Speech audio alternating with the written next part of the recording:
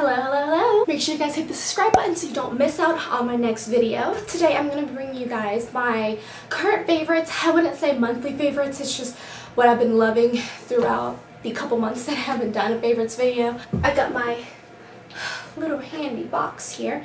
Okay, so I'm going to go by face. Um, I have really loving the Maybelline Fit Me foundations. I have two of them in the matte and poreless, and then I have two, oh, I have three in the matte and poreless, and then I have one for the dewy. As you can see, I like the matte and poreless a lot better. Um, I get really, really dark in the summer, like I jump like 10 shades, so I had to get almost the darkest shade that they had, which is the 335 Classic 10 Bronze. Um, that one was really dark. I couldn't believe I was that color. And then the lightest one that I have is 230, which is Natural Buff. So I got 230, and then it goes 310, and then 330, and then 335. So yeah, I really like this. Um, it's just a really good everyday foundation. Literally, I use it every single day. Um, but when I want to do glamorous makeup or, you know, going out for the night and I really want my makeup to not budge and because I'm going to be drinking and be wild, I'm just kidding, I don't do that. Um, um, I use my Estee Lauder Double Wear. But on other occasions, this is definitely it for me. I really, really do like this. And they're so inexpensive. It's unbelievable how cheap they are. So when I got darker over the summer, I was supposed to get another concealer to match my shade, but I didn't because I the concealer that I wanted, um, I really wanted the uh, NARS Creamy Radiant Concealer, but it was really expensive, so I was able to get a sample of this Urban Decay All Nighter Foundation, and it was really, really light because the only one they had, and I was able to use it as a concealer. This is shade number 5, and I can't believe how awesome this works as a concealer. I couldn't imagine what it would look like as a foundation. So if you ever run out of your concealer and you just want a sample of something, use the foundation as a concealer because it will last you forever. This is a generous amount. This is a 5 point, this is a point, this is point zero, oh my god, 0 0.1 fluid ounce. So, I mean, it's a really good size. So I use it for my concealer and I love it. So to set my concealer, I like to use my RCMA powder and my IT Cosmetics Translucent Bye Bye Pores. Uh, this is a HD micro powder. The reason why I mix these two is because this one alone gives me a really harsh white cast. I'm sure you can see it right now because I have my ring light on, but you can't see it in person.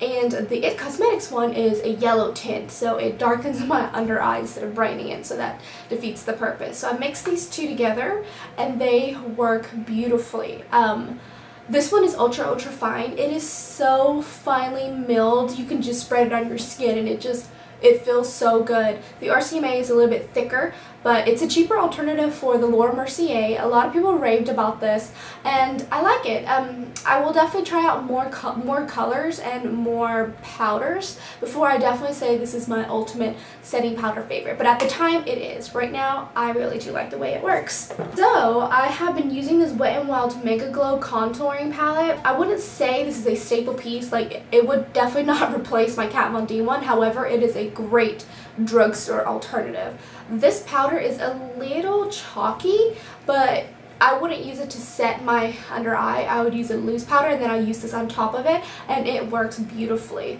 The bronze is really, really pretty. It is just a perfect, it doesn't have an orange tint. It has the perfect amount of ash in it and it's great for traveling. That's the only reason why I bought it. I bought it like two months ago and I've been using it every day. And um, I took this to Florida with me because I didn't want to pack my Kat Von D one. And this was the only one that I used because I, it was the one that I had. So I really do like this. This is awesome.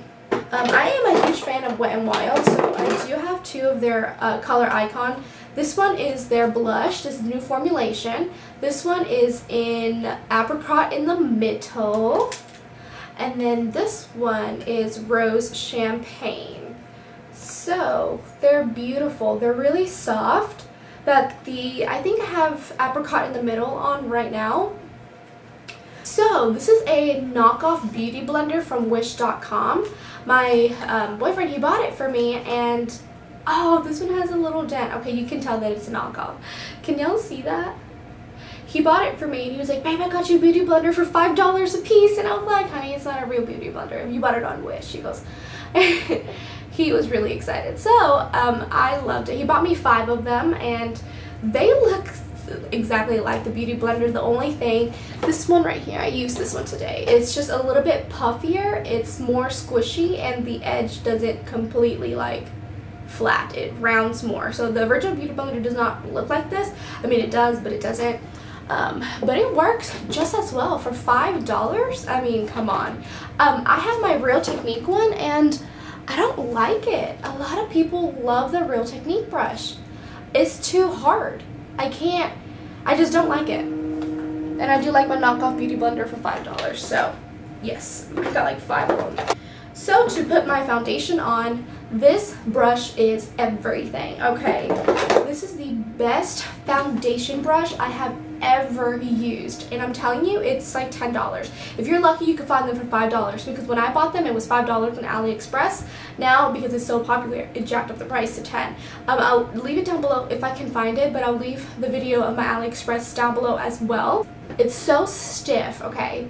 It distributes the color super, super evenly. It's big, so it, you know, all the way around. And I really do like that. Um, and then I have been using my Jergens, Jergens, Jergens Wet Skin Moisturizer. You use it in the shower before you put your lotion after you get out. Um, so use it, oh my god. So you use this when you are kind of damp, like right out of the shower, and then you just pat yourself dry with your towel. And these, I got them online at AliExpress. These are awesome. They're 12 brushes, and I think I got them for like $5.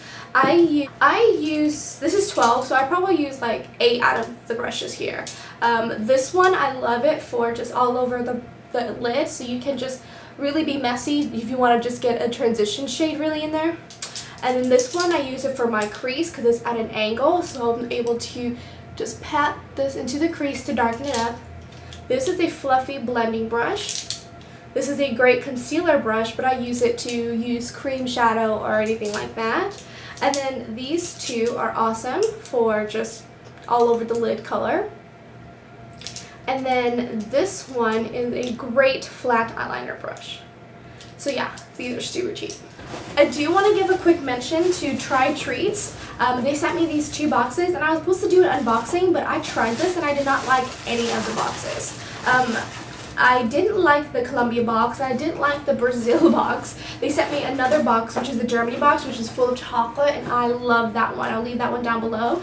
I didn't want to put something on my page I didn't like because the box, it was just preference. It just it was just honestly about preference. The concept, however, is wonderful. Their customer service is on point and the concept, I mean, you get to try the treats around the world. So I'll leave more information about them down in the down box, but look at that. You get, you know, treats, you get more treats, more treats. They have a card. You get more treats.